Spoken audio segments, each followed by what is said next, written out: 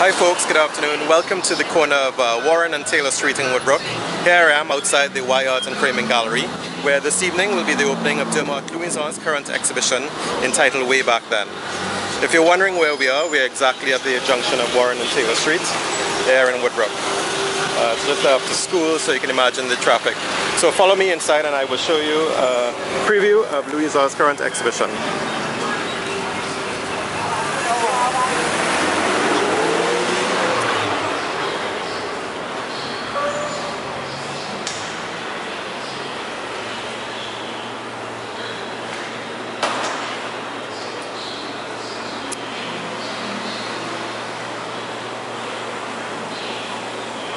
I'm going to read something that Louison has written as part of his bio for this exhibition, and he says, Most of my paintings depict the most impressionable images I have kept from my childhood and my early days growing up in Cascade, and also throughout my adult life moving through the forest and landscapes of Trinidad and Tobago. They are mostly of people, types of people with whom most others average, most other average people no longer come into contact with or maybe have never even known.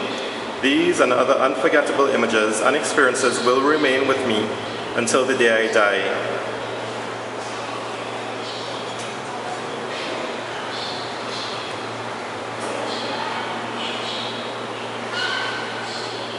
Louison continues to write in his bio, a select few of my paintings are imagined, like Crapo Obia Man, I would, think, I would think so deeply about the circumstances surrounding an event and begin to imagine how the event unfolded prior to it having happened.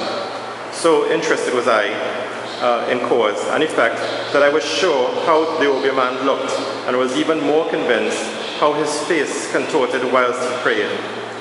As I sit here reminiscing, I laugh to myself and recite some of the words and phrases I've heard throughout my, throughout my lifetime. I remember them early days as if it just happened yesterday and cannot but think how uninteresting life would be without them.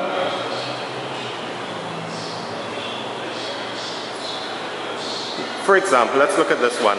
Uh, Louison writes, he says, Hail Queen of Heaven. Hail Queen of Heaven. If you think you know how to serve God, think some more. Sweet Jesus, people are a bunch of jokers compared to those worshippers I met over the years in Paramin. In his next, in his next paragraph, he writes about fowls and flowers. Many Clo- May Clunies was a person who could not live without having fowls.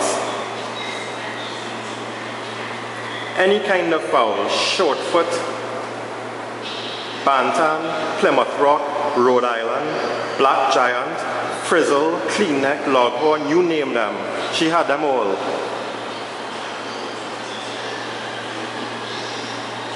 May dated every egg she got, writing the numbers on the eggs with charcoal pencil. She will get to the root